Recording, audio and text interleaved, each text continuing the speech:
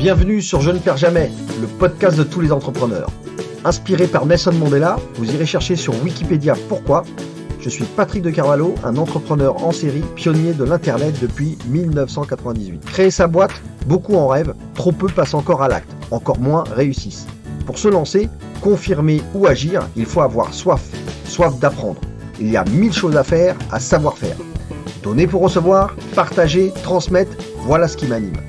Débutants ou chevronnés, nous sommes là tous ensemble pour exécuter, pour apprendre les uns des autres. Soyez inspirés et inspirants et n'oubliez pas, je ne perds jamais, soit je gagne, soit j'apprends. Allez, go, on monte le son et c'est parti pour l'écoute.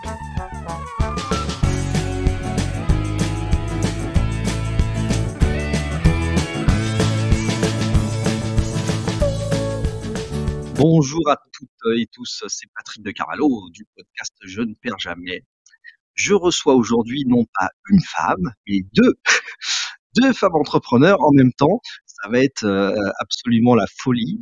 Je suis avec euh, deux personnes qui sont euh, des expertes dans le marketing et qui vont nous raconter ça.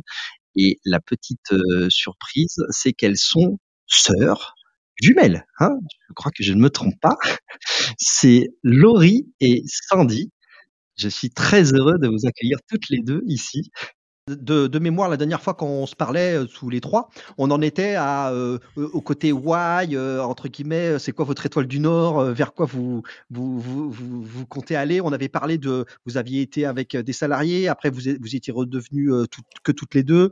donc il y avait ce côté aussi, voilà, ce que vous avez envie de faire en matière de, croissance et avec, avec la, structure. Et vous nous étiez en train de me dire que vous étiez d'ailleurs très, enfin, très bien à, à, deux, quoi.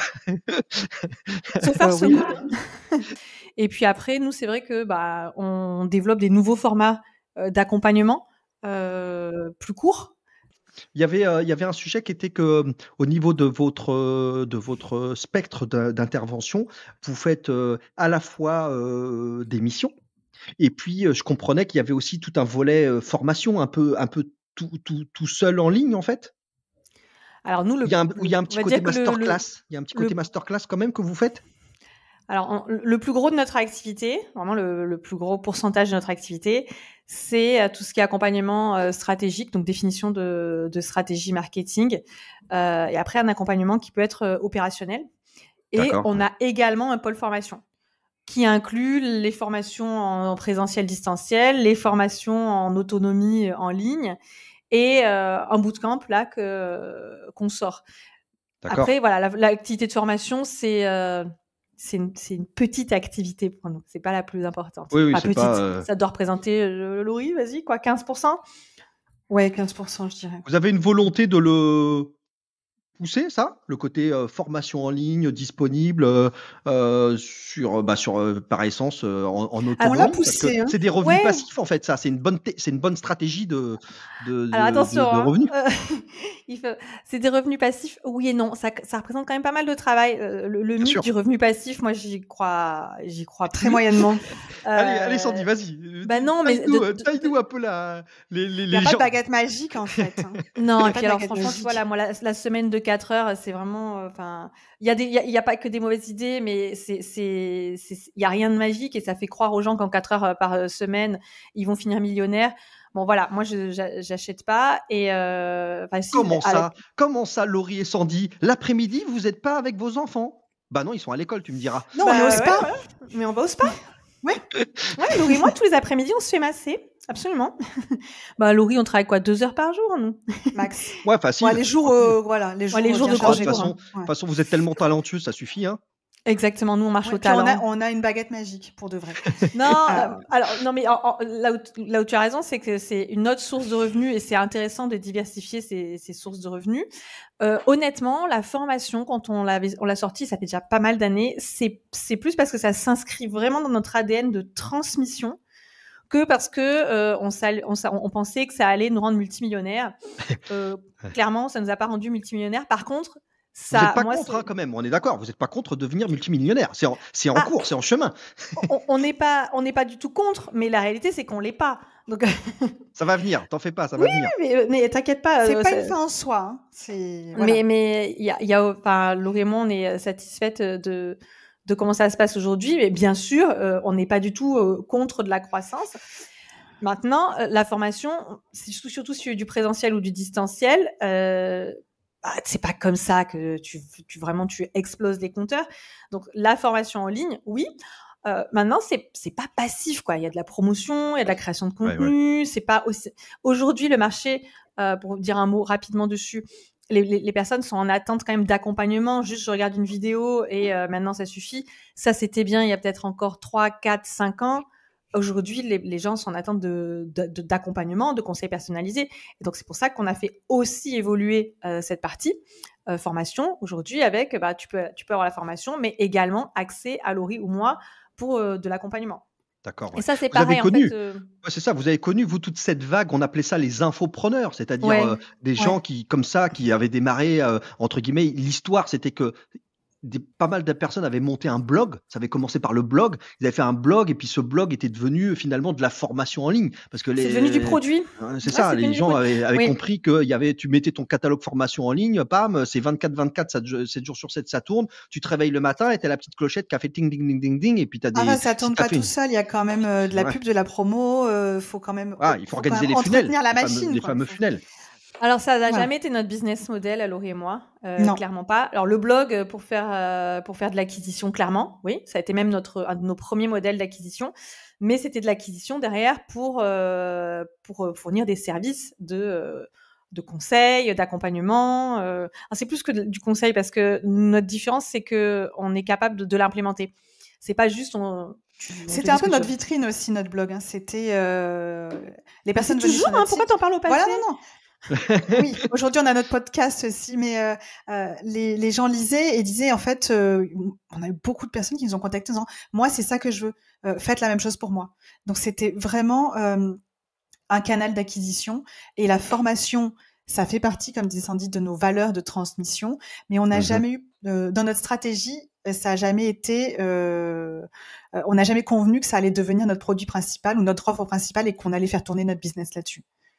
D'ailleurs, on se penser- définit pas comme formatrice. Non. Ouais, non, non. Et c'est un, je dirais que c'est un c'est un service complémentaire complément. qu'on apporte à nos clients. Ouais, c'est un complément. Parfois, c'est aussi une porte d'entrée aussi. Oui. Est-ce que euh, là, là, pour le coup, le blog, ça veut dire que ça nous emmène sur les terres euh, de l'écriture, du fameux copywriting, euh, mais pas euh, les copyrights dans le sens des droits. Hein, c'est pas les droits à l'image, c'est le copywriting avec un W, hein, c'est l'écriture.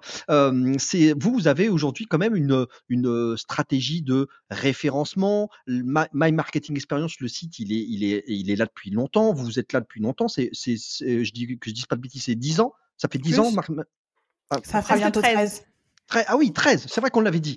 Euh, 13 ans. Donc, euh, On était donc des vous, bébés. êtes- vous avez installé, vous avez pu installer. Et vous, vous, est-ce que vous le ressentez, ça, le côté euh, euh, référencement, référencement naturel, le inbound, avec, les, avec les, les aspects d'écriture, les articles que vous avez pu faire, peut-être des dossiers spéciaux Alors les articles, ils mis, euh, sont sur c'est pas forcément, ils sont pas forcément copyrightés, ils sont surtout D'accord. optimisés pour le référencement, Référencement.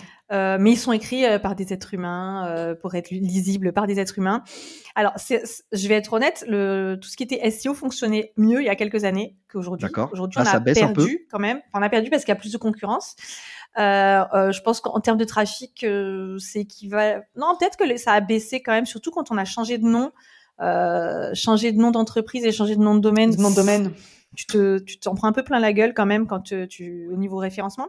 Mais en revanche, là où, là où on est très fier et très contente, euh, c'est que sur des expressions euh, assez spécifiques comme euh, offre en B2B, construire son offre en B2B, donc ce qui est vraiment un gros pôle d'expertise chez nous, euh, eh ben en fait on est numéro un sur euh, créer des offres en B2B. off- Donc, pour nous, c'est très bien parce que ça génère un, un trafic qui est très qualifié. Qualifié. Alors évidemment, c'est niche. Hein. Euh, on, on ramasse pas 500 000 personnes par jour euh, avec Mhm. ce- ce- ce- cette expression.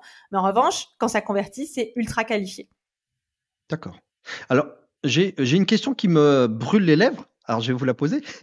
Euh, sur, euh, j'ai j'ai vu que en ce moment, alors c'est peut-être, enfin, moi je dis en ce moment, et ça fait peut-être longtemps, hein, que vous aviez un, une expertise, euh, un positionnement que vous poussez, que vous défendez fortement sur euh, LinkedIn. C'est-à-dire l'utilisation de LinkedIn, euh, enfin le bien l'utiliser, etc., etc. et donc je me posais la question suivante, c'était est-ce que ça vous ça vous éloigne pas de votre expertise de marketing service, marketing produit par rapport à, comment dire à des entreprises qui sont vos clients? Euh, moi, je, à tort, hein, sûrement, j'avais l'impression qu'il y avait une ribambelle de indépendants, solopreneurs qui sont en train de ramasser tout ce qu'ils peuvent sur ce côté allez, on vous forme à bien utiliser LinkedIn. Et euh, je, me posais la question si, si ça venait pas brouiller votre positionnement euh, en tant qu'expert du marketing pour vos clients. Ah, c'est une super question. Oui, alors voilà, je, même chose. J'aime beaucoup la question. Et euh, c'est très bien de mettre un peu les pieds dans le plat. J'aime beaucoup. désolé, je suis, un, je suis un peu un gros lourdeau aussi en même temps. Non, non, mais on est pareil, donc euh, justement, c'est très bien. Non, c'est une super question. Euh, tu veux répondre ou je le fais? Bah, commence et puis j'apporterai si mon éclairage si nécessaire. Alors, en fait, c'est venu, c'est venu d'une demande. D'accord. C'est vrai que nous, notre cœur de métier, tu l'as très bien dit, c'est d'accompagner les entreprises sur tout le volet la stratégie, euh, comprendre mon audience, comprendre les mhm. leviers psychologiques de l'achat, de, de, mes acheteurs, évidemment pas de tous les acheteurs possibles. Bien sûr. Construire des offres qui s'achètent. Euh, c'est là où on, a voilà, en s'appuyant justement sur euh, cette un très haut taux de satisfaction aussi, hein, on va le dire. Et construire également des plans d'action. C'est-à-dire que bah ok, c'est bien, tu as ta stratégie, maintenant qu'est-ce que tu fais? Comment tu l'implémentes? Donc ça aussi, ça fait vraiment partie de, de, nos services connus et reconnus. Et puis, c'est poser la question de, OK, aujourd'hui, dans beaucoup de plans d'action, il y a LinkedIn. Bah, parce que quand tu es en B2B, c'est un peu le passage obligé. Enfin, c'est pas, pas obligé, mais on le sait, c'est le réseau euh, social qui convertit le mieux en B2B. Et on s'est retrouvé face à des euh, entreprises, des clients qui nous disaient, bah ouais, mais on sait pas faire.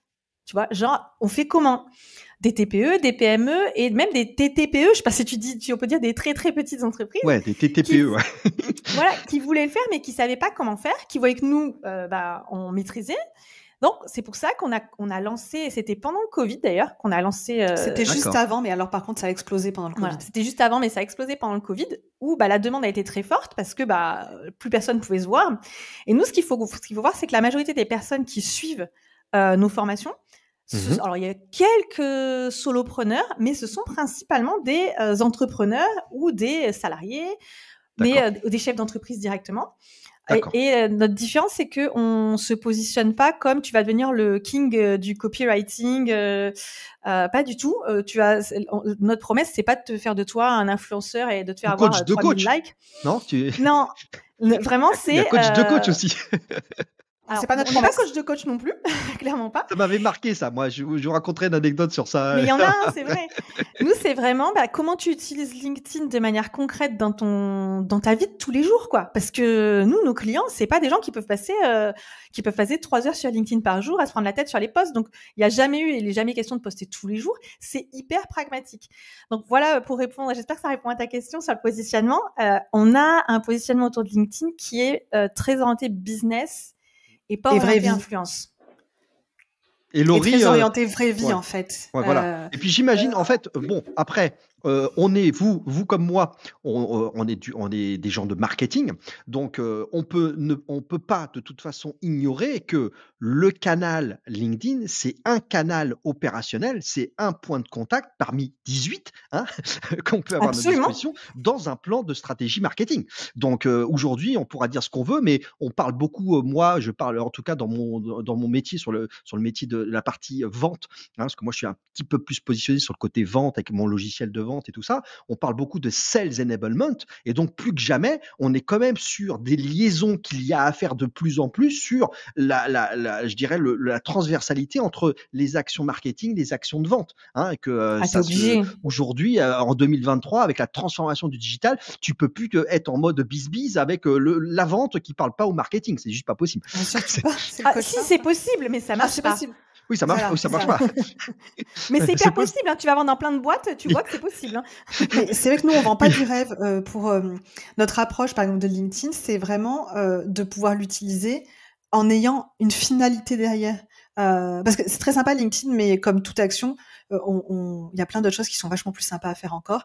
Et l'objectif, c'est de se dire, le temps que j'y consacre, je, vais, je, sais pourquoi je le fais et dans quelle optique. Voilà. Oui, et, puis de la même manière, c'est ça rejoint ce que tu disais, si ton produit et ton offre, c'est de la merde, bon, bah, ça, ça résoudra pas ton problème. Hein. Non, ça c'est clair. J'avais. Tu pourras pas faire illusion longtemps vu qu'on parle de ça, euh, pour, euh, pour creuser encore, euh, encore un peu plus votre, la, la, la, délivrance de l'expertise que vous avez, est-ce que vous faites, vous faites des missions, par exemple, de marketing externalisé? Est-ce que vous allez jusque-là ou vous, vous êtes vraiment sur la définition d'un plan stratégique qui, avec des actions opérationnelles Mais est-ce que vous, vous proposez de faire, genre, je dis n'importe quoi, mais enfin, directrice marketing externalisée? Ça, vous le faites, ah, ça, je, clients, je pensais que tu avais écouté ce qu'on disait depuis le début.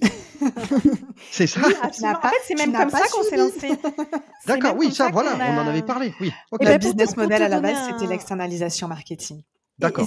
Et, ça reste toujours aujourd'hui. Ça reste toujours, mais on, pour te donner, euh, pour illustrer ça, il y a euh, un de nos clients, ça fait, aide-moi Laurie, 11 ans et demi ah, que ah euh, qu'on assure ce rôle. D'accord. du coup, c'est, je, suis, euh, c'est, moi qui tiens ce rôle. Et Laurie, toi, un de tes clients, tu es. Ça euh, fait 7 ans. Voilà. Ouais. Ah oui, donc euh, bon, ok, donc on est bien, on est à plein. Alors après, il y en a qui sont plus récents, mais oui, on a, et puis il y en a plusieurs clients, hein, bien sûr. voilà. Après, on a, un très bon taux de fidélisation. Voilà, on a un très haut taux de fidélisation. Et puis, il faut le voir, il y, a une stratégie. je pense que tu l'as bien, as bien vu. C'est que si tu commences par le conseil et que derrière tu fais le plan d'action, bah, qu'est-ce que tu es le plus à même de revendre derrière? L'exécution. Bah oui, c'est un peu. Ou le transfert de compétences avec la formation. Oui, alors après, c'est vrai que tu peux aussi rester en mode pilotage. Tu vas piloter et, et c'est pas nécessairement toi qui, qui feras. Mais oui, alors, on fait aussi, alors oui, absolument. On fait pas tout nous-mêmes. Hein. Attention, on pilote. Hein. On fait pas. On parlait de SEO tout à l'heure. tout ce qui est sur des, on va dire, du, de la très forte expertise très niche. Euh, mmh, c'est pas mmh. nous qui faisons, mais y a, on, on, travaille avec, euh, avec des, des, ressources externes et avec des partenaires qu'on pilote, mais on est tout à fait capable, on, c'est nous qui disons euh, ce, qu'on, ce dont on a besoin et on est tout à fait capable de savoir si c'est euh, conforme ou non conforme. Mais comme un directeur ou une directrice marketing externalisée ne va pas tout faire tout faire lui-même ou elle-même d'ailleurs. elle va créer, elle va faire appel à différents partenaires ou prestataires pour monter une équipe en fonction du projet qu'il faut piloter. Par contre, c'est cette personne-là, c'est le, directeur ou la directrice marketing qui va le, piloter. Donc mm. voilà. Et euh, on s'appuie sur pas mal d'expertise. Vous avez évoqué, euh, par, euh, quand on en a parlé, que vous aviez euh, donc des plans d'action qui étaient opérationnels. ça veut dire que si je reviens au sujet de LinkedIn, par exemple, vous, vous mettez en œuvre et vous mettez à disposition de vos alumni un, des outils, des outils, un, un, notion avec un truc tout prêt, des choses comme ça ou, Alors oui, ils ont énormément, on inclut dans les. Si on parle vraiment de la formation qui est euh, en vidéo. Il y a, c'est pas que de la formation en vidéo. À l'intérieur, il y a tous nos outils, euh, des templates, des tutoriels. L'idée, en fait, nous, peu importe, peu importe comment tu consommes ma, my marketing expérience, l'objectif, c'est que tu passes à l'action. C'est vraiment de passer à l'action. J'aime, j'aime ça. ouais, c'est. Et c'est ce qui est le plus compliqué en fait. Et même, et j'ai fait un aveu, c'est, c'est même compliqué pour nous. Donc en fait, on crée des expériences euh, que ce soit en, termes d'opérationnel, enfin de conseil opérationnel ou de formation, qui vont pousser à l'action parce qu'on sait que c'est toujours le truc qui va le coincer le plus. C'est là où le bas blesse. c'est là où le bas blesse. Mais ils te le disent d'ailleurs les clients. C'est comme ça qu'on est fichu, hein. c'est comme ça que l'être humain est fait en fait. Ils te disent, euh, moi j'en ai plusieurs, quand on est en visio, ils disent, nous on a besoin que vous nous donniez des coups de pied au cul. c'est ça. Pas de problème. Compte sur moi. on inclut, on inclut des sortes de, dans tous nos accompagnements, on inclut des sortes de petits challenges, tu vois, comme des, des, entre deux rendez-vous, on va dire, bon alors pour la prochaine fois, ça serait cool que tu arrives à faire ça. Je te mets au, un peu, je te mets au défi, quoi, pour mm, mm, pousser mm, à l'action. Après, bon, voilà. Faut que la personne, mais en général, franchement, ça se passe super bien et c'est comme ça que tu obtiens des résultats. Et puis, plus tu pratiques et plus tu obtiens du résultat et puis c'est stimulant, en fait. Vous êtes, euh, Je sais même pas d'ailleurs, j'allais dire vous êtes plus jeune que moi, je sais pas, euh, peut-être, oui, sûrement. Euh, on va dire que oui. Euh, donc vous avez vu, vous avez vu évoluer comme moi, quand même, l'internet, les technologies, les années 2000, voilà, les crises 2008, etc. donc avec un, vous, bah, vous êtes en plein dedans. Vous voyez que des métiers qui, pouvait être plus classique. Le marketing, hein, marketing produit, marketing service, euh, a été vraiment euh, bouleversé, bousculé par le digital, par les technologies. Euh, ce qui fait que j'ai une question qui est est-ce que vous avez l'impression que vous avez déjà fort à faire, mais vraiment beaucoup à faire pour essayer de accompagner les clients actuels qui sont vraiment en retard euh, ou est-ce que vous êtes toujours entre guillemets à l'affût, à assimiler, à appréhender les nouvelles techniques marketing qui peuvent naître, les nouvelles stratégies, parce qu'elles sont bousculées par le digital? Est-ce que vous faites un peu des deux? Vous faites comment vous gérez cette notion que tout bouge beaucoup et très vite par le digital, notamment le marketing, et vos clients, ben, en fait, est-ce qu'ils sont, est-ce qu'ils sont vraiment très en retard? Est-ce que vous arrivez à les, à les raccrocher sur justement des innovations? Là, on parle, on peut pas ne pas parler de l'intelligence artificielle qui va vraiment bouleverser tous les métiers, y compris le marketing. et donc, voilà, j'avais un peu envie de savoir comment vous, comment vous passez ces années-là avec les évolutions de votre propre métier, de la propre expertise à avoir sur les sujets du marketing. Est bonne cette question aussi. Ouais. C'est compliqué, non, comme question. en vrai, hein ah, genre, non, en fait, non, elle n'est pas compliquée. Elle est pas compliquée. Elle n'est pas compliquée. Alors, je suis d'accord. Euh, oui, on a, on a vu, on a, on a assisté à cette évolution, et d'ailleurs, euh, on, on, nous a toujours demandé quand même, on a, et nous-mêmes, on a toujours orienté vers le, vers le digital, parce que Sandy et moi, on s'est de suite positionné euh, comme apportant des techniques et des outils marketing innovants on s'est toujours formé à la, pointe, à la pointe, à de Ce qui fait, quoi. Et ça fait partie de notre promesse d'ailleurs, hein, et c'est pour ça aussi que nos clients, quand ils viennent nous voir, c'est ce qu'ils attendent aussi. Euh, donc je pense que c'est un parce que le un parce que non, ça nous intéresse clairement, on va pas mhm. se mentir. et deux parce que nos clients euh, sont aussi sensibles à ça. Donc oui, euh, au fur et à mesure, le digital a évolué. Nous, on s'est toujours positionné sur le digital parce que bah, déjà, ça fait partie de notre stratégie, euh, euh, des stratégies qu'on a utilisées pour se pour se développer. Et après, l'utilisation a évolué et effectivement aujourd'hui, euh, l'arrivée de l'intelligence artificielle depuis quelques quelques mois bah, fait qu'on est euh, nous-mêmes, on, se forme aujourd'hui à ces outils-là euh, nécessairement pour pouvoir évoluer euh, avec euh, avec les techniques qui, qui vont qui, qui émergent aujourd'hui en marketing. Et pouvoir continuer de te différencier aussi. Ouais. Parce que moi, je suis, je suis convaincue qu'en fait, aujourd'hui, tu as pas 40 000 options, c'est euh, soit tu regardes de l'autre côté et tu te dis euh, non, non, euh, c'est une tendance. Ouais. Hyper risqué quand même, hein, franchement. Sandy, la, gueule, de bois, elle va être sévère. voilà, oh, bon, je sais même pas si tu auras, le temps d'avoir la gueule de bois en fait. Mais comme tous ceux qui ont dit j'y crois pas, Internet, hein. j'y crois pas. Voilà. Soit tu regardes les choses en face, tu dis ok, c'est un nouvel outil, qu'est-ce que je peux en faire, comment ça peut m'aider, comment je peux garder aussi mon identité euh, parce que c'est hyper important de, de, te dire je garde mes idées, mon identité. Et c'est, je pense, possible. Honnêtement, je pense que c'est possible de continuer d'être différent, et, mais d'utiliser ce, appelons-le un outil, ce nouvel outil. Alors nous, on l'appelle pour l'instant, euh, on a dit euh, l'elfe éditorial, mais il fait beaucoup plus que rédiger. Notre, notre elfe de bureau, en fait. Ouais, c'est quand même très très réducteur de dire qu'il fait, fait, que rédiger. C'est de, de voir tous ces changements euh, plus comme une opportunité que comme une menace. Yes. Bah, de toute façon, euh, c'est la meilleure manière d'appréhender les, ces bouleversements qui sont, euh, qui sont inexorables, en fait. Hein. Parce que c'est pas en fermant les yeux que ça n'arrivera pas, en tu, fait. Tu peux, ça sert à rien de faire l'autruche. Hein. Là, euh, l'autruche, c'est pas bon. Hein. Mm. Alors, l'autruche, c'est pas bon, mais moi, je peux comprendre que quand tu es en poste, par exemple, en poste salarié ou même, même indépendant, où tu as déjà du mal à te tenir informé sur ce qu'il y avait il y a six mois et que parce que là c'est pas tous les pas tous les six mois le changement. Là c'est exponentiel. C'est exponentiel. C'est exponentiel. Alors attention il y, a aussi un petit peu de tri à faire. Il y, y en a ils te vendent toujours des choses nouvelles alors qu'elles sont pas si nouvelles que ça. Mais même si tu fais ce tri tu te rends compte que ça s'accélère. Et moi je peux comprendre que si tu es dans ton job et ou que tu es déjà par-dessus la tête c'est hyper dur de continuer à te tenir informé pour nous, c'est vraiment, ça fait partie, on l'a mis en place dans notre organisation qu'il y a une demi-journée, un, jour par semaine, qui est consacrée à ça. Et le danger dans ces, dans ces cas-là, je ne sais pas si vous, vous le ressentez aussi. Euh, moi, je suis euh, effaré par euh, l'ère des vendeurs de pelles dans laquelle on est. C'est-à-dire que c'est horrible. Tu te retrouves avec des gens qui débarquent de ailleurs. Quand je dis ailleurs, je veux dire Facebook, TikTok et limite Insta, qui débarquent sur LinkedIn comme les espèces de messies pour euh, que tu euh, deviennes, que ta stratégie marketing, euh, elle soit. Mais attends, comment ça, Laurie et Sandy, vous continuez à faire du marketing, vous? Ah bon? C'est pas votre petit elfe qui vous sort le plan stratégique en trois minutes là? Bah, vous savez pas, vous savez pas utiliser les prompts. Hein, il va falloir vous mettre à la page. Hein. Alors ces gens-là, ils maîtrisent très bien le FOMO.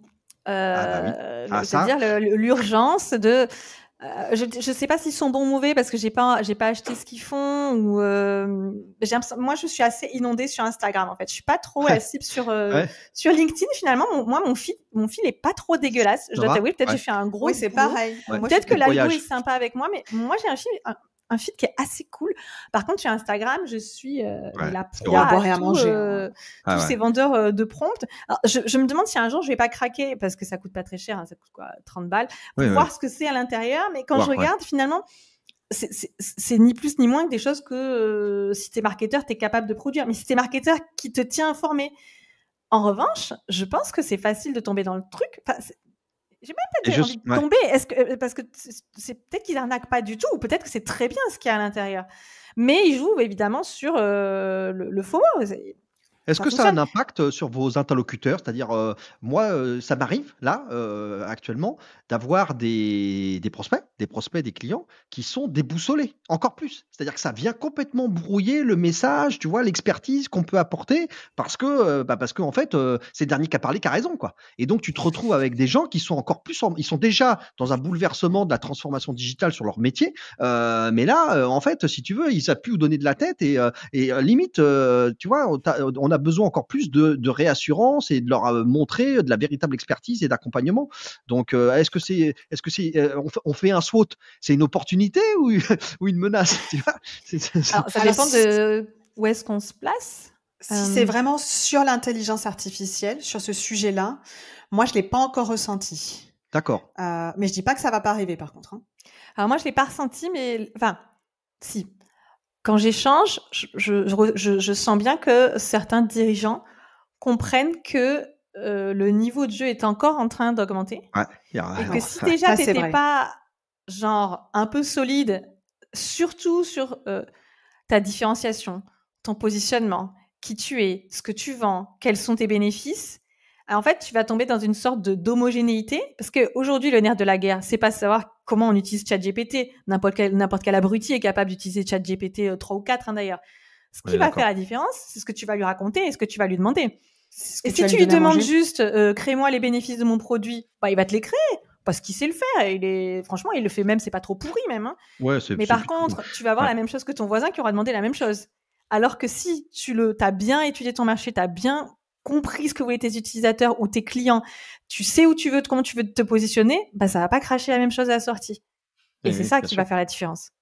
Oui, on est, on est, bah, en fait, on est, on, est en train d'avoir à arriver bah, des nouveaux métiers, euh, bien sûr, et notamment des métiers de, de, de l'ingénierie des prompts. Hein. C'est-à-dire que ah, j'en ai euh, vu déjà. Euh, c'est ça, l'expertise, l'expertise. Maintenant, euh, nous, pour nous qui évoluons dans l'univers du le secteur du, marketing, marketing et sales, en ce qui me concerne, on est vraiment sur effectivement l'appréhension, la capacité à savoir bien utiliser un outil pour effectivement, comme tu le dis, Sandy, ne pas être dans une espèce de, de, de masse là totalement protéiforme qui, qui, il y a plus de, il y a plus de niveau de jeu et où tu deviens complètement gris, quoi.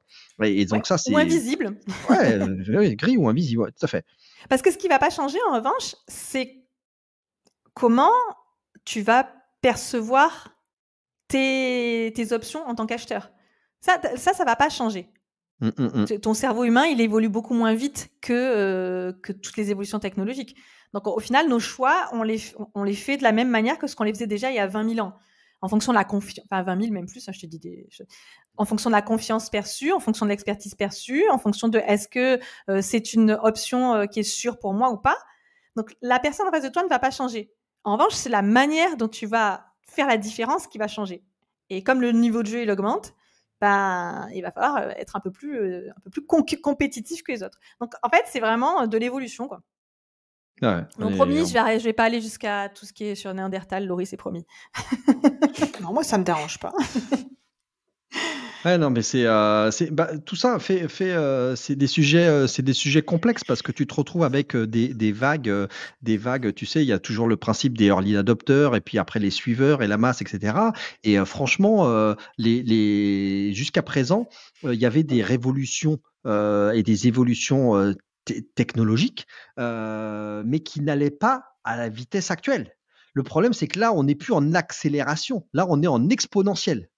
C'est plus pareil, c'est plus la même rigolade. C'est-à-dire que la, la, puissance, tu vois, je veux dire, là, on vient d'annoncer des choses sur euh, euh ChatGPT 4, euh, euh, mid-journée version 5. le problème, c'est que là, on est parti sur un train où tous les trimestres, tu vas avoir une version supérieure, plus puissante que celle précédemment, que celle précédente. Et là, là, on n'est plus en accélération. Là, là, on est, on est en, on est en fusée sur orbite. Alors, il y a quand même une réalité et moi, je me rends compte quand je sors le, nez de LinkedIn, parce que je suis quand même très connectée à, un réseau professionnel. Mais si tu sors euh, et que tu vas parler à d'autres personnes, euh, on est un peu en vase clos.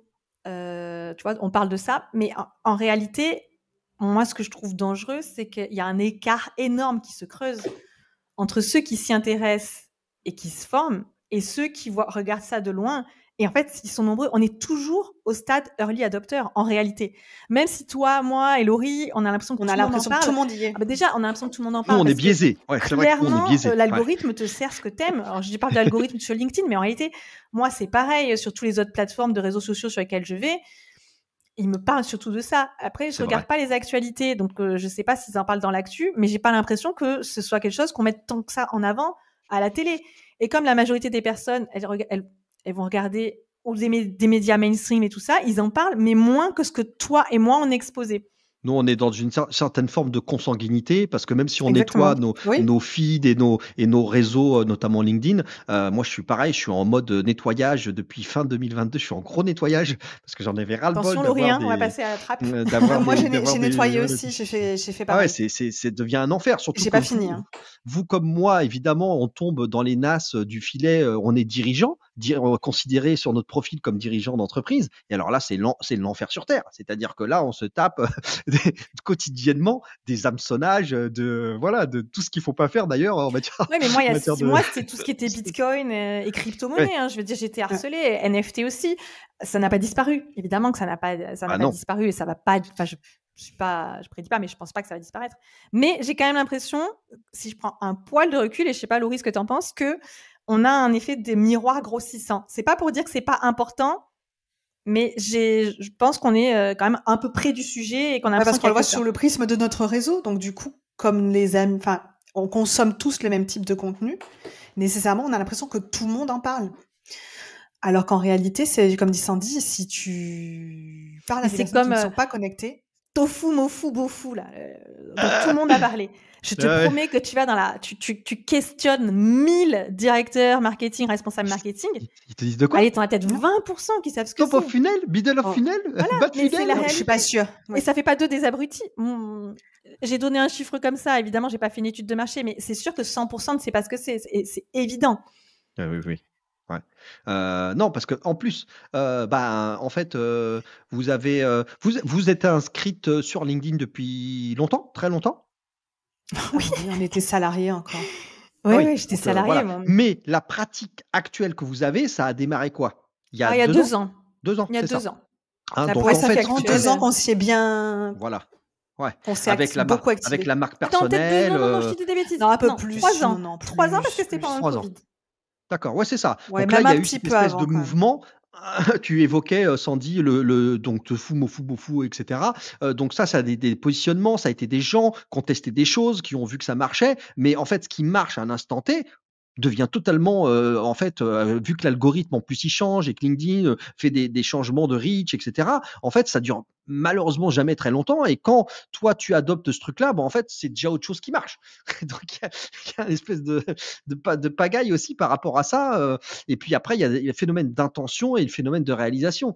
dire qui arrive, franchement, à publier tous les jours? Oh, bah, plein. Euh, ouais, il y en a qui publient plusieurs fois par jour même. hein. Pas, pas les clients, tu vois ce que je veux dire? Pas nous. Ah non, mais et nous non nous, plus, les hein. experts, oui. Non. Nous, les experts, oui, etc. Mais tu vois. Ah non, euh, non, tu publies tous les jours, moi, moi, je publie pas tous les jours. J'ai jamais publié tous les jours, moi. Je, Ouais, je l'ai non. fait une vous- euh, pendant une plus, je semaine. crois un que jour. vous le, vous le défendez ce point-là, c'est-à-dire vous avez toujours dit que vous c'était trois fois par semaine ou un truc comme ça, non? C'est pas ça? Bah, J'ai envie de te dire, fais ce que tu peux déjà. C'est bien. Mais fais-le régulièrement. Je pense que. Moi, j'ai toujours la bonne fréquence, c'est celle que tu arrives à tenir. Yes. Ouais. Y a, Donc, il si- y a un autre. Après, une euh, fois par mois, c'est peu quand même. Ouais, c'est peu, ouais. Après, ouais, c'est toujours la même chose de, de tu sais, euh, quels sont les objectifs que tu attribues ou que tu définis à, à ce que tu as envie de faire avec ça. hein. C'est toujours la même chose. Hein. Oui, bien sûr. Et Après, voilà. euh, sur LinkedIn, euh, la publication, c'est une chose, mais en réalité, il y a beaucoup d'autres actions à, à faire et qui peuvent rapporter autant, si ce n'est plus, en fait. hein. vous On parle avez, toujours de publier, publier, mais il n'y a pas que ça. Est-ce que vous avez déjà été sollicité par un truc qui est en train d'arriver là aussi et qui m'agace, c'est le mot, euh, qui est le marketing d'influence? C'est-à-dire le placement. quand- ah oui, le marketing d'influence où tu. euh, tu... Il y a de plus en plus dans mon réseau hein, des gens qui sont ce qu'on appelle des voilà des, des incontournables, hein, des voilà des gens qui prennent la parole, qui sont euh, des, des hein, les fameuses voix LinkedIn. Euh, mais il y a eu quelques campagnes là euh, dans lesquelles je suis, je suis tombé. Euh, ça m'a sérieusement, mais vraiment sérieusement agacé. Alors moi, je, je trouve qu'il y en a qui sont bien faites, honnêtement. C'est assez rare trouvé- hein, pour l'instant encore. Voilà, c'est vrai qu'effectivement, le, le moment où tout le monde, je sais plus laquelle il y avait eu, mais après, c'est c'est une stratégie, euh, où tout le monde avait publié le même message le même jour, ça va être un peu, ça va être un peu relou quand même. Ouais. Euh, en revanche, il y en a, je- honnêtement, il y en a que je trouve assez subtiles et, et pas mal faites du tout. Euh, J'en ai vu une passe- passer une cette semaine sur légal quelque chose, je crois. Euh, Moi, j'ai pas y a un vu petit pas côté vu égérie, tu vois, Laurie. Ouais, c'est- il y a un petit côté égérie, quoi. C'est-à-dire que ton, ton influenceur, on va l'appeler comme ça, ton influenceur LinkedIn, ça devient une égérie qui porte la parole. Mais moi, euh, entre guillemets, euh, j'aime bien quand mes ex- les, ces experts me racontent des choses intéressantes sur une expertise qui m'intéresse, mais qu'ils soient une égérie d'une promotion, d'un côté publicitaire. Moi, franchement, sur un réseau professionnel, euh, je je m'attends pas à me faire si embêter par ça, quoi. On, on peut, on, peut on peut différencier Ouais. deux choses, peut-être l'influenceur du créateur. Ouais. Euh, si derrière, euh, alors déjà, je vais répondre à ta question. euh, non, en tout cas, personnellement, j'ai pas été approchée pour faire des campagnes d'influence. Ça va venir. Moi, moi, à mauvais escient. C'est-à-dire qu'il y a quelqu'un qui m'a demandé, mais honnêtement, j'aurais pas su quoi. Enfin, je sais, c'était pas du tout mon domaine. Ouais, c'était Et pas honnêtement, Apparemment, Laurie est je- plus bankable que Je moi. me sentais pas du tout légitime de parler de ça. Je te, je te dirais ce que c'était senti. Euh, tu m'en as même pas parlé, j'en reviens pas. si, si, je t'en ai parlé. Je t'en ai parlé. Alors, et après, je ferai la différence entre euh, la- les influenceurs euh, qui vont donc s'emparer d'un produit et faire euh, purement du placement de produit. Mhm. Du coup, je trouve que ça n'a pas trop de valeur ajoutée. Je vais le différencier du créateur de contenu qui va peut-être tester le produit, Mm. donner un retour d'expérience, donner des conseils d'utilisation. Du moins, si derrière, moi, j'en retire quelque chose, je suis pas contre. Après, ce qui pourrait peut-être me déranger, c'est si chaque poste est sponsorisé. Ouais. Enfin, si chaque poste, tu sens qu'il y a un placement Oui, oui, ça, ça, ça peut me déranger. Mais j'ai vu des, hum, j'ai vu des campagnes, euh, notamment, je crois que c'est chez Florence Grégeois, euh, si je me trompe pas. Mais alors, par contre, je ne sais plus euh, pour qui, euh, avec qui c'était sponsorisé. Et je trouvais que c'était fait avec élégance. Alors peut-être parce que c'est Florence et que Florence, elle a une plume euh, qui est très très euh, que j'apprécie beaucoup. Mais euh, il y avait un message qui était euh, préventif. Il y avait il y, avait de la sensibilité. Maintenant, euh, je te rejoins. Si euh, le fil LinkedIn euh, doit se transformer en spot publicitaire, euh, bah, du coup, il y a ça perd de la valeur. C'est un peu une tendance. Moi, ce que j'ai je voudrais, c'est me dire, bah, est-ce qu'on est, est-ce qu'on peut relever le défi d'à la fois monétiser son contenu? Parce que moi, je- je- honnêtement, je défends une certaine monétisation du contenu. Tu vois, Euh, je trouve qu'au final, c'est un vrai métier. Euh, tu vois, nous, on a un podcast. Clairement, je peux t'assurer que, enfin, comme toi, tu as un podcast et tu peux te dire, euh, c'est hyper, c'est quand même beaucoup de travail. Et tu peux te dire, au bout d'un moment, on pourrait, pourquoi pas, avec des marques qu'on aime, tu peux le monétiser. Et qu'on utilise. Mais ça changera pas ton contenu. Ton contenu sera toujours ton contenu il faut, de il bonne faut qualité. Garder, voilà, il faut garder une excellence, une indépendance sur, euh, Voilà. sur ce que tu as envie de dire et ce que tu as envie de transmettre. Effectivement, il ne faut pas que tu deviennes un, un homme, un homme ou une femme sandwich euh, pour la réclame. Exactement. Oui. Et c'est peut-être ça le défi aujourd'hui. C'est d'allier ce côté monétisation et création. Et authenticité pour moi. C'est-à-dire que euh, en plus, tu ne fais pas la promo de quelque chose que tu n'aurais pas forcément expérimenté toi-même. C'est, pour moi, il y a quand même une vraie valeur de dire que euh, quand tu t'adresses, quand tu suis un créateur de contenu, euh, en fait, tu lui fais confiance. Donc, effectivement, quand il va parler d'un certain sujet ou de certains outils, euh, tu vas y accorder plus de crédit que quelqu'un que tu connais pas. Donc, si derrière, moi, le créateur de contenu va faire la promo de choses que lui-même n'a pas testées, j'avoue que je me sentirais un petit peu berné, je pense. Yes, je suis assez d'accord. Bon, mais OK. Eh bien, alors maintenant, j'avais envie de vous, vous, emmener, vous interroger sur. Vous êtes deux femmes euh, associé et entrepreneur. Euh, en plus sur euh, un, un, métier euh, qui est le marketing où on élabore, vous élaborez des stratégies pour vos clients. J'avais envie de vous demander pour vous-même, est-ce que vous êtes des cordonniers bien chaussés? C'est-à-dire, est-ce que vous avez une réflexion comme ça sur, ok, tiens, voilà ce qu'on veut faire pour le plan à 5 ans de My Marketing Experience, voilà où on veut l'emmener, voilà où on veut aller. Est-ce que vous faites ça? Est-ce que vous faites une espèce de comex, codir, vous posez, vous réfléchissez à, à, ce que, à la stratégie, qu'est-ce que vous voulez faire dans les, dans les mois ou années qui viennent? Ouais, on a des co-CEO Day. Euh, C'est vrai? Ouais, bien sûr, on en a un par trimestre. Euh... On a testé la plage l'été dernier. Ouais, en juin, on, a, on l'a fait ça, à la plage. Ça n'a pas bien marché. non, c'est. Euh, Sandy a perdu toutes les notes, mais euh, c'était pas un mal pour un bien. Ah, mais je crois que j'avais vu, euh, vous n'avez pas fait un post là-dessus? J'avais vu, j'avais vu un, petit post euh, anecdotique là-dessus. J'avais bien, bien merdé. Non, non, en fait, euh, c'était un mal pour un bien. Oui, tous les trimestres, on se fait un point. Par contre, on fait rien sur 5 ans. Alors, on n'a pas du tout cette horizon. C'est trop, long pour, pour vous par rapport aux changements qui peuvent survenir. nous, on est sur, des, sur du 6 mois, tu vois. On est, on est vraiment sur 6 mois, un, un, an sur certains Pour certains projets, oui, voilà. certains projets tu peux te dire euh, ouais 12 mois, mais ça dépasse jamais les 12 mois. Vous avez un, une organisation bilan comptable, tout ça, en, en, genre en année civile, genre du 1er au, 30, au 31 ah ouais. décembre Je te laisse répondre. Ah, oh, dit quand même. Oui, on est en année civile. C'est Laurie qui, ouais. fait la, qui fait la gestion. Ah ouais, c'est Laurie qui gère. Alors, je ne fais pas la compta, mais euh, cette partie administrative, euh, financière, oui, c'est moi qui. Euh, mais vous êtes comme ça en année, en année euh, pleine, quoi. Pas de mai à mai ou je sais pas quoi. Vous êtes non. du 1er janvier au 31 non, non, décembre. Non, non, franchement, c'est déjà suffisamment galère. Si en plus tu me mets une année fiscale du 1er avril au 31 mars, c'est bon, tu m'as perdu. Ouais, ouais. Absolument.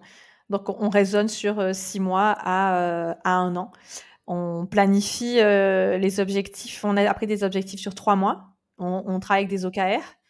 D'accord. On va dire dans les grandes lignes, hein, parce que hum, c'est pas, on n'est pas d'une rigueur extrême, euh, mais globalement c'est quand même, euh, c'est quand même suivi. OKR, euh, avec mon anglais de ouf, c'est les objectifs key results. Hein. Ouais, ouais, c'est ça. Hein on est d'accord. Hein, euh, il y a quelques que ça bouge, hein, qu'il y, y, y, en a qu'on n'arrive pas à faire, il y en a qu'on a rajouté en cours de route, il y en a qu'on révise. Vous voilà. les chiffrez, c'est-à-dire que vous les quantifiez, vous les chiffrez, vous les mettez vraiment pam pam par écrit. Au moins, c'est la, c'est la, c'est le roadbook. Quoi, ah oui, ça c'est obligé quand même. Ah, ouais. Non, non, il y a une trace, on Après, s'y réfère. ça veut pas dire qu'on y arrive, hein. attention, il y a des objectifs qu'on n'atteint pas. Hein. Non, mais par contre, effectivement, on se pose dessus pour dire est-ce que l'objectif est atteint, est-ce qu'il n'est pas atteint, qu'est-ce qu'on doit faire pour euh, pour l'atteindre? Voilà, on, on, le réviser, mais euh, c'est pas c'est c'est un exercice qu'on fait et on revient dessus. Ouais. on bah, d'ailleurs pas juste pour se faire plaisir, sinon on le ferait fin, pas. fin mars, euh, on s'y colle. On va le faire. D'accord. Est-ce que euh, pour le coup, ça c'est souvent étroitement associé à, au, à la technique euh, de vente, technique commerciale euh, Vous, avez, euh, vous avez aujourd'hui un travail de, je dirais, de, de prospection actif euh, par rapport à, à les objectifs que vous voulez atteindre en matière d'augmentation, de croissance de chiffre d'affaires, etc. Ou c'est vraiment bouche à oreille, réseau, euh, l'upscaling des clients existants? Quelle est votre approche de la vente par rapport à, à à votre positionnement d'entreprise? Alors, euh, on, a une, on, on, a, on travaille beaucoup sur la fidélisation client et euh, qui, a un, qui a quand même un levier, essayer de, de, de conserver les clients. C'est euh, très intelligent d'ailleurs comme approche. bah en fait, on parle beaucoup d'acquisition qu'on pratique ouais. également, mais euh, dans les stratégies marketing aujourd'hui, même, enfin surtout auprès de nos clients, on voit que la fidélisation c'est vraiment le parent pauvre. Ça, ça brille un peu moins. Donc c'est un peu mon cheval de notre cheval de bataille, je dirais. Donc euh, bah, charité bien ordonnée commence par soi-même. Euh, on, Tout à fait on fait ce qu'il faut pour fidéliser nos clients. C'est-à-dire que pour une fois qu'ils sont déjà venus chez nous, eh ben essayer de continuer de poursuivre l'aventure à nos côtés. alors ça ne durera peut-être pas toujours dix ans comme avec certains clients, mais de pouvoir optimiser cette acquisition cette durée de vie, en fait, la valeur, ce qu'on appelle en, en marketing la, la, valeur vie du client, LTV en anglais. La lifetime, euh, la lifetime. en, fait, on peut dire valeur vie. Euh, valeur Il y a un moment donné, tes efforts de d'acquisition, faut essayer de les rentabiliser aussi et de te dire que, alors c'est sûr que nous, le gros de nos demandes, le gros des, des, des clients, c'est des demandes entrantes. Donc, euh, euh, pas, si tu as fait des efforts forcément pour être visible et tout ça, mais on n'est pas forcément allé euh, activement prospecter. Mais oui, ça nous arrive quand même de mener des actions de prospection. Vous décortiquez votre coût d'acquisition, tu vois, quand, tu, quand vous élaborez une campagne, une campagne en disant tiens, là, euh, on va essayer d'avoir des leads ou je sais pas quoi, vous décortiquez, vous analysez le, coût d'acquisition ou, ou, pas plus que ça? Bah, Notre coût d'acquisition, il se compte surtout en temps parce que ou alors il faudrait vraiment euh, qu'on y affecte un coût euh, par rapport à, au coût horaire de riz ou de mois, euh, parce que principalement nous on c'est sur de l'organique. donc ça peut être lié à la production de contenu, tu vois, je veux dire, ça peut être. ça peut être lié à la production. Voilà. Vous faites pas de campagne genre LinkedIn Ads ou ce genre de choses? Non, non, ah, mais ce qu'il y a, c'est que la production de contenu, j'aurais du mal à affecter parce qu'aujourd'hui, ah, ça nous sert aussi à la fidélisation. Parce qu'on bah parle souvent que c'est pour l'acquisition, mais en fait, c'est super bon pour la fidélisation euh, également. Donc, c'est vrai qu'on on sait par exemple en amont sur la découvrabilité et, euh, et la notoriété, c'est-à-dire que tu, tu, développes ton image et tu es découvert et donc tu es connu, mais c'est pas forcément à ce moment-là que euh, le prospect va venir euh, te faire une demande et devenir client. C'est juste que tu vas être dans son euh, voilà, dans, son radar et le jour où il a un besoin, eh ben tu vas être top, top, of mind et c'est vers toi qui va venir. Est-ce que je dirais que c'est du coup de, du temps pour de l'acquisition? Euh, Non, c'est c'est à dire qu'il y a certaines actions, elles sont elles ont plusieurs affectations. Voilà, c'est de la notoriété. Et d'autres, ça va. Mais et au bout d'un moment, dans le cycle de vente, ça va générer euh, bah, la phase de transformation. Mais non, on fait aujourd'hui, on fait pas, on participe pas à des salons, euh, on n'achète pas de la publicité, on on a on on n'a pas vraiment de facture qu'on peut directement imputer. Oui, euh, imputer à ça, ouais, d'accord. À ça.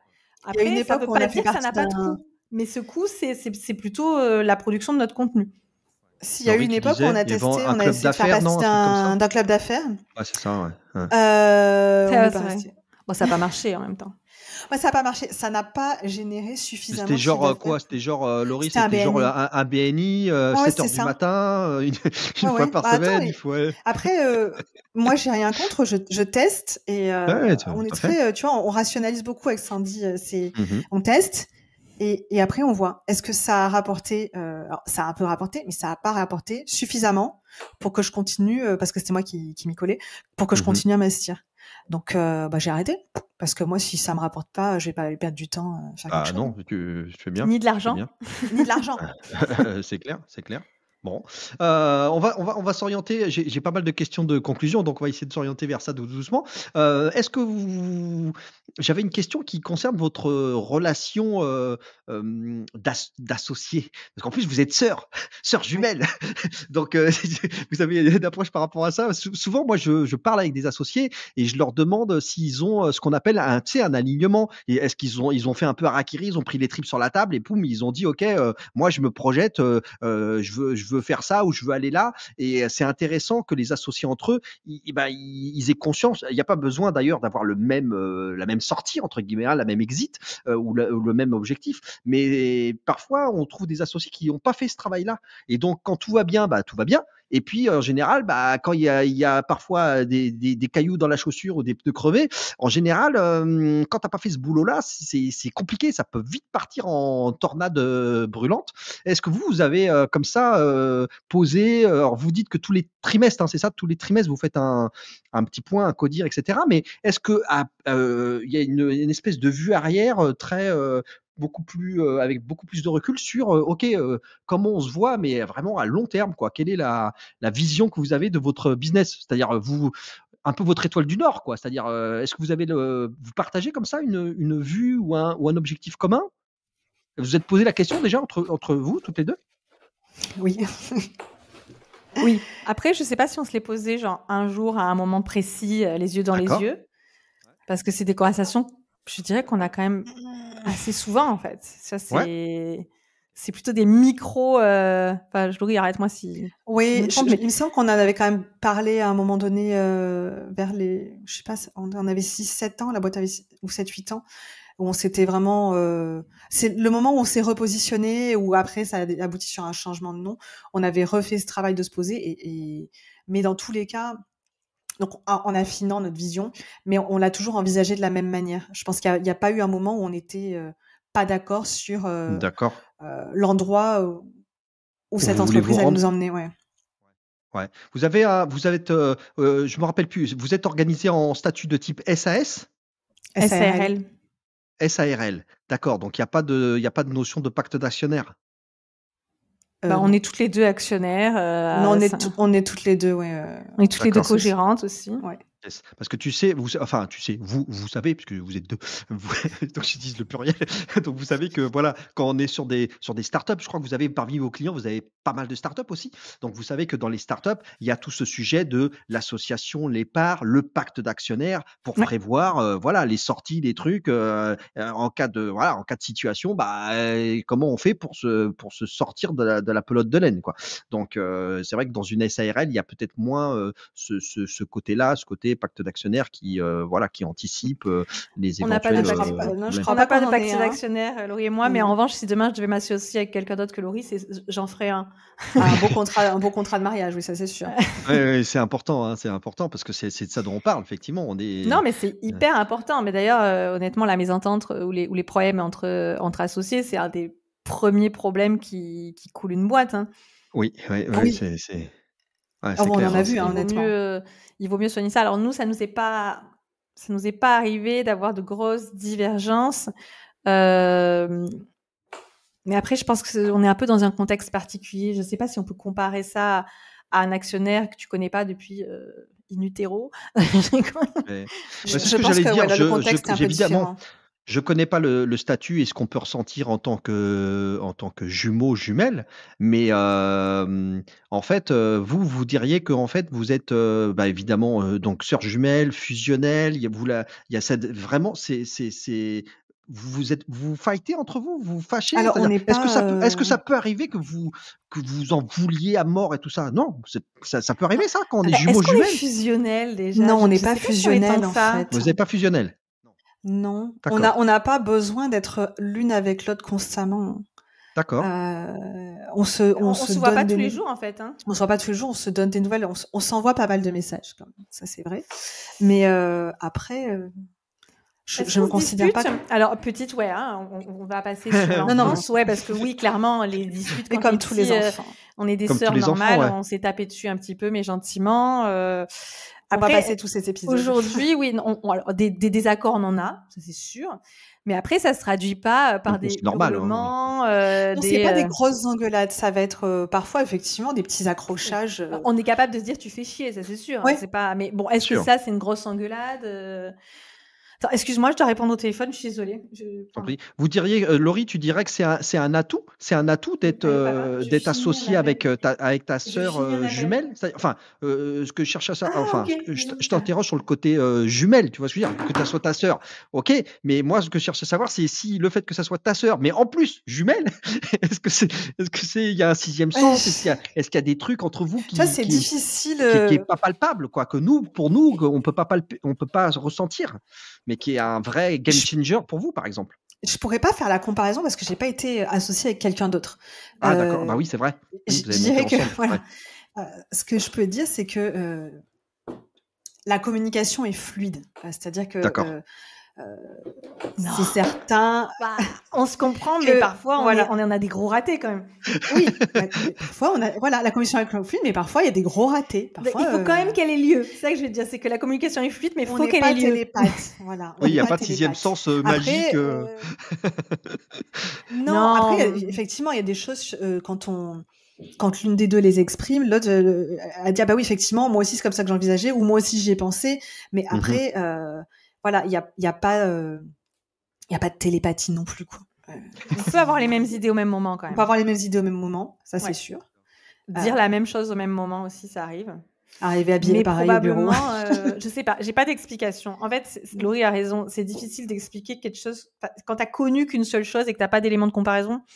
C'est ça. C'est un peu difficile. Quoi. Mm. Alors, on peut le prendre sur un autre, euh, sur un autre aspect, un autre questionnement. À ce moment-là, je vais. Est-ce que, par exemple, vous avez été, euh, euh, est-ce que vous êtes capable de me raconter euh, une, euh, tu vois, une, un événement vraiment euh, euh, très, très grave ou euh, dans le sens pro, hein. Vous voyez, un échec ou un truc euh, vraiment qui vous a mis euh, sens dessus dessous. Vous avez vécu ça ensemble, toutes les deux, euh, ce truc-là, et comment vous l'avez affronté, je dirais? Bah, le Covid. Bah ouais, Ouais. le- le Covid. Ouais, ça a, été pour, vous- ça a été pour vous dans le business et tout, ça, a- ça vous a, ça vous a mis, euh, ça vous a planté dans le sable au début là? Bah au début, euh, au milieu, Euh, à la bah, fin. pendant six mois, quoi. Ouais, c'est ça. Mars, mars, septembre, Donc ça, ça a été quand un- même, dans la vie de l'entreprise, ça a été un, ouais, un gros, un gros Ah ouais. événement. euh, ouais. Ah ouais. Ah ouais, ouais. D'accord. Ah oui, nous on a ramassé. Hein. Et là, en c'était termes de chiffre d'affaires, en termes de fatigue, en termes d'organisation, en termes de, Ouais, de tout, hein, je dirais. en termes de. Alors, pas- motivation aussi. Ouais. Puisqu'après, t'es C'est- démotivé, quoi. C'est ça. Euh, ouais, ça devait, honnêtement, ça devait être une super bonne année pour nous en plus. Hein. On co- on Ça aurait dû être. Ça a commencé super bien et tout. Et puis après, bah, ça s'est brutalement euh, arrêté. On a perdu des clients. Enfin, enfin, on n'est pas les seuls, hein, et tout. Bien sûr, bien sûr. Et puis euh, après, tu dois gérer l'organisation. Tu dois. euh, Tu dois gérer ta vie d'à côté. Hein. Ouais, nous, il n'y a pas eu d'école pendant six mois. Ouais, vous avez eu Euh, comme moi, vous avez eu les enfants à côté, à côté de vous. Euh, Oui. À faire l'école à la c'était- maison. C'était Ouais. c'était compliqué. Ah, Ouais, c'était franchement, quelque chose, hein. j'ai pris au-delà cher. ça, euh, J'ai pris cher si- avec, avec la maman. Là, on a pris cher. Euh, Ouais. Nous, on en a trois. euh, pff, là, j'ai j'ai- j'ai dansé la polka là. Bah voilà, tu voilà, vois, donc tu, tu vois, tu Ah, situes. Mais merci, merci parce que moi, Merci. quand j'entends des gens qui disent, Ah, moi, le La Covid, meilleure période la de ma vie. période de ma vie, je fais, mais c'est quoi ta vie? C'est quoi ta vie, ouais? Ouais, ou alors voilà. Et pourtant, on n'est pas les plus à plaindre. Hein. Je veux dire, euh, ça allait. Hein. euh, c'est j'ai un extérieur, j'ai une terrasse, euh, j'ai une vue qui est, qui est très sympa. Ouais, on est d'accord. hein, On n'est pas. Moi, Non, puis on devait pas hein. on était, on devait pas en plus, tu vois, il n'y a pas de contrainte extérieure autre que ça. Mais c'est Mm, vrai mm. que euh, l'année d'avant, on avait fait une super année, on avait mené des, des actions, on avait eu énorme, on avait un pipe de malade, c'est-à-dire quand on allait ouais. euh, concrétiser beaucoup de, Ouais, de, de new beaucoup de business. dossiers, hein. voilà, beaucoup Ouais. de business. Et tout s'arrête, quoi. Tout s'arrête. euh, Un client s'arrête. On a eu aussi euh, deux. on était en mission. On avait mandaté des des, des partenaires en fait sur certaines missions. Euh, Il y en a un des deux qui nous a planté du jour au lendemain, mais euh, plus Ah, il son Ah, il disparu dans la disparu nature. des radars, quoi. Ouais. disparu, volatilisé dans la nature. Donc euh, tu, gérer ça à distance. euh, Ouais, pour moi, clairement, ça a été ça a été un, une période qui a été un cauchemar. Quoi. Vous avez euh, pas été en même rêve. temps euh, avec le moral dans les chaussettes? Vous aviez un, un coup, un coup l'une, un coup l'autre, etc. Parce que si c'est les deux en même temps, euh, voilà, c'est la cata. Euh, Mmh. Peut-être qu'on se le disait pas. Après, euh, on n'est pas du genre à se laisser abattre non plus, tu vois. On... Tu te dis, faut on avait quand même ouais.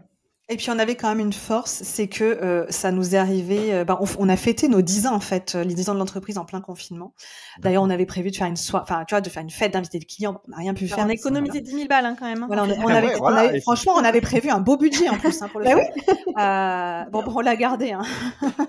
on on l'a quand même fait à distance. Ça n'a Ouais, ouais, c'était on était quand même contente de le faire mais euh, mais honnêtement ouais ça a été euh, ça, Non, a ça a été quand même quelque chose. Mais notre force c'est vrai que c'était quand même que malgré tout on avait une trésor qui était solide.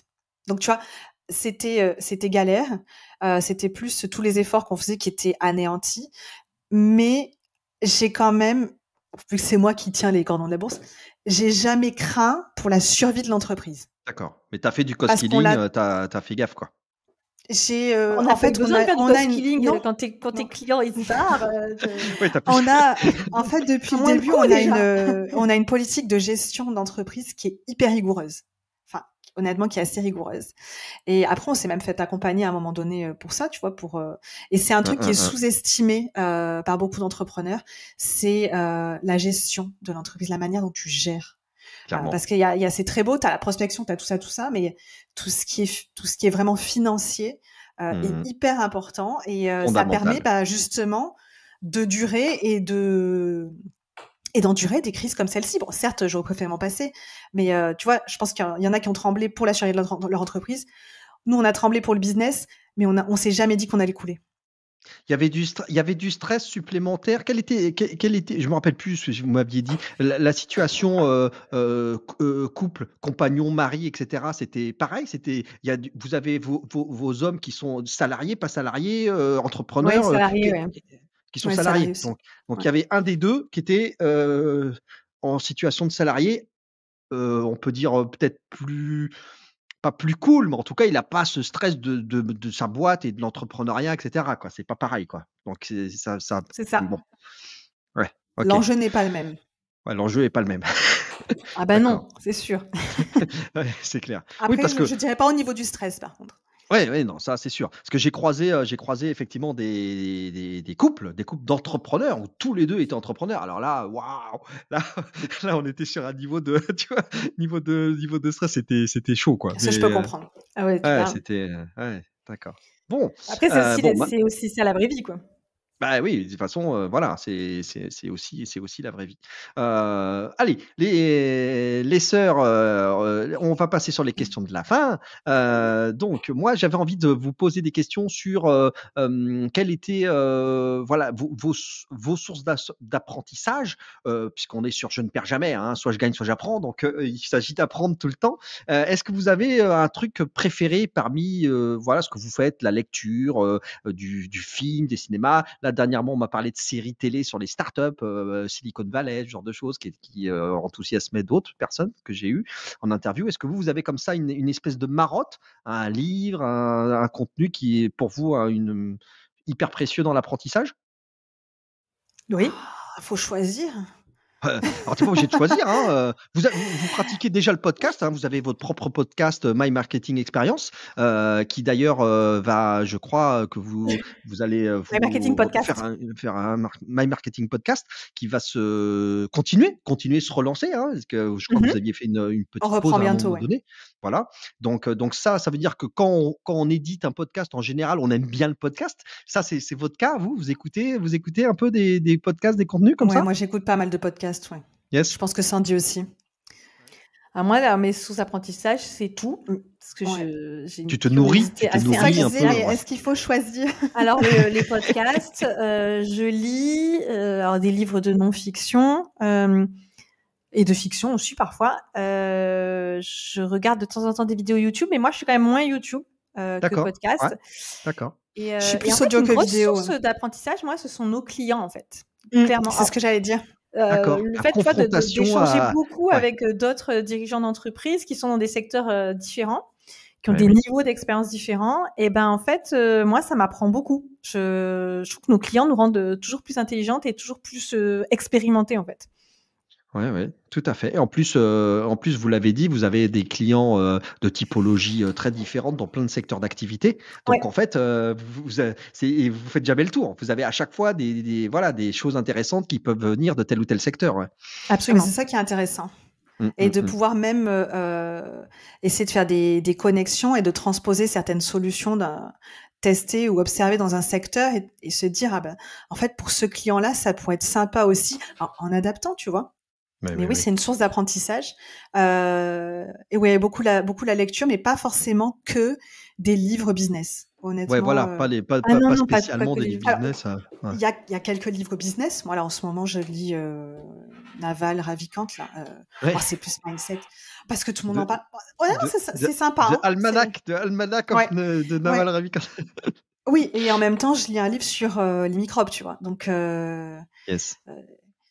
Et en fait, euh, de lecture euh, non business, euh, tu peux faire des parallèles avec le business. Et c'est ça qui est hyper, qui est hyper intéressant. Moi, je lis un livre sur les grands singes.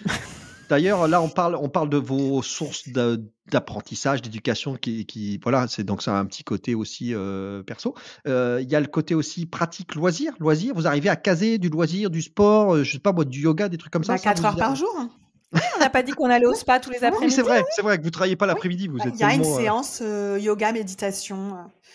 Ouais, il y a un peu de pratique de yoga. Ouais, vous en faites ça Un peu tous les jours. Un peu tous les jours. Euh, je cours une fois par semaine. Euh, pareil. je ski. On a la chance d'habiter à côté des montagnes et mmh. et moi, ah on est des ah grandes fans de ski. Vous auriez tort de vous en priver. de la rando aussi, des, des, des, activités assez plein air dès que possible. Ouais. Bah oui. En plus, vous avez, euh, c'est quoi, c'est quoi la météo? C'est plutôt clément là sur, sur, sur l'année? C'est genre 200, 250 jours, 300 jours de soleil par an C'est 300 jours de soleil, mais de toute façon, il ne pleut plus en France, donc il fait beau partout. Oui, de toute façon, avec la, avec la planète. C'est pas pour faire du mauvais esprit, mais. Ouais, c'est un peu la cata. alors là, tu vois, c'est pas pour ça qu'on va se baigner. La, mer est à 12 degrés. elle est froide quand même, hein, là. Oui, oui, tout mais, à fait. Ouais. Mais euh, non, non, il fait, Mais oui, on arrive à avoir, euh, on arrive à avoir des loisirs. Ah, cet équilibre voilà, On n'est pas sur une semaine de 25 heures non plus. Hein, on va être. Et je ne marche pas deux heures par jour en pleine nature. Ouais. Ah moi je fais ça. Moi. Comment ça tu fais pas ça? Moi je fais ça moi. Bah écoute, je sais que c'est très indiqué. Juste après euh, une heure de gratitude et puis une autre heure à câliner des arbres, c'est ça? Exactement, voilà. Et bah, ça.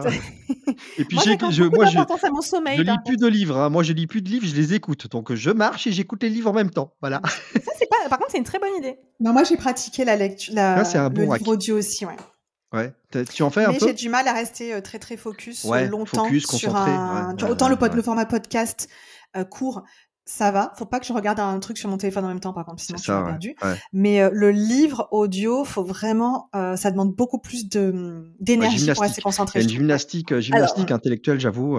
moi, les podcasts, je les écoute quand je cours et je trouve que ça passe super bien. Ouais, moi, bah moi, en fait, j'ai une pratique, j'ai vraiment une grosse, grosse pratique du, de l'audio, hein, euh, podcast, euh, livre, euh, et effectivement, je suis un, je suis un peu boulimique, hein, je les mets en, bon, c'est pas toujours super, ça dépend si la lecture est une, enfin, l'écoute est une écoute de type loisir ou une écoute de type boulimique, parce que par exemple, moi, je sais pas comment vous faites, mais j'écoute les livres et les podcasts genre à vitesse 1,75.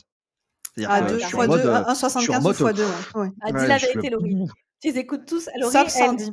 Elle, elle, écoute tout en x2, sauf quand c'est moi qui parle. Ouais, sauf quand j'écoute nos podcasts. Je fais 1,5. Mais euh, non, non, je, je, suis comme toi. Alors c'est drôle parce que je pensais, euh, je pensais être la seule à faire ça. Et euh, non, non, moi je suis, en, je suis en mode Bob l'éponge, quoi. Je, j'ai, tu vois, euh, mais par contre, du coup, j'arrive plus, j'arrive plus à écouter enfin en, en lecture normale sans invitation. Je me dis, mais qu'est-ce qu'il parle lentement lui? Moi, c'est pareil. mais même les vidéos, hein, même les vidéos. moi, c'est pareil. Je les accélère. C'est pareil. Mais c'est, c'est, si c'est une bonne nouvelle en fait. je sais pas s'il faut s'en réjouir. Sandy, en tout cas, enfin Laurie était moi comme moi. C'est franchement, c'est un super hack parce que tu arrives à lire mais plein de trucs en fait.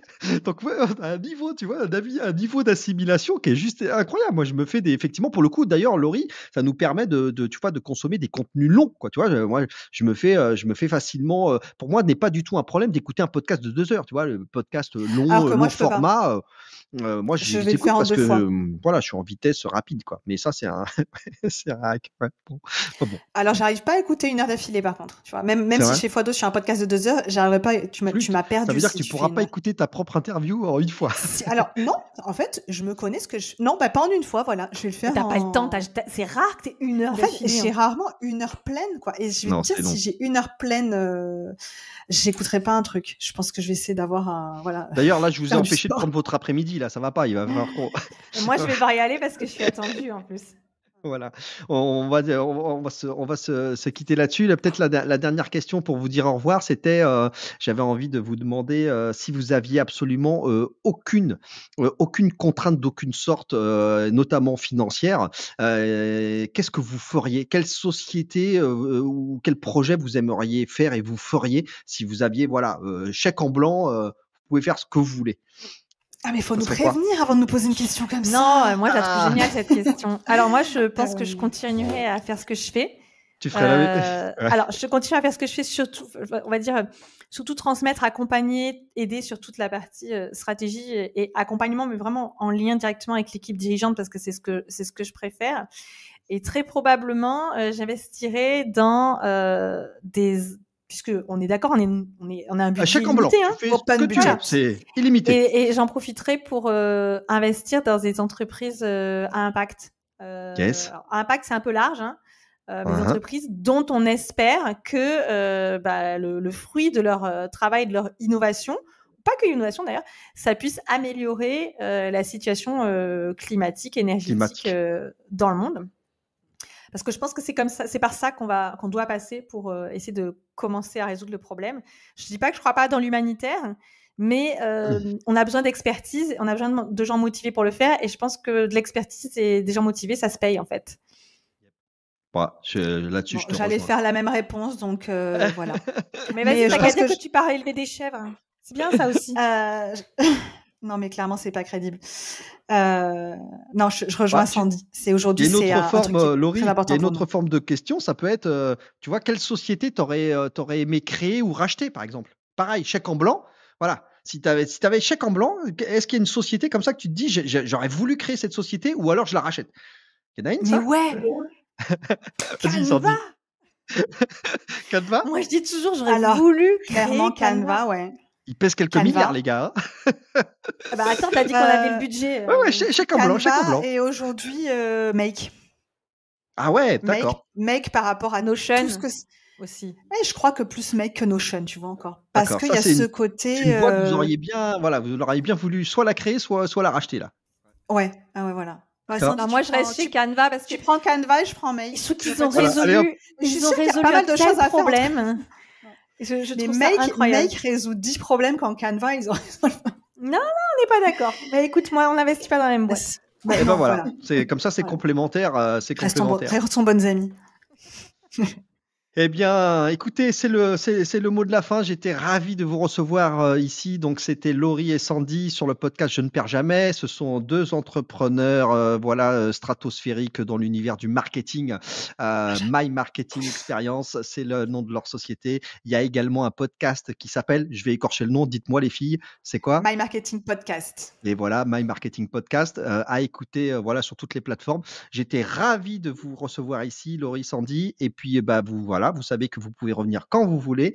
Euh, ça, vous serez accueillis à bras ouverts. Venez nous raconter vos prochaines aventures. Ah bah, merci, beaucoup en tout cas. Merci pour ton invitation, Patrick. C'est moi. Je vous dis à très bientôt sur les réseaux. À bientôt. à bientôt. ciao, ciao. C'est déjà fini pour cet épisode.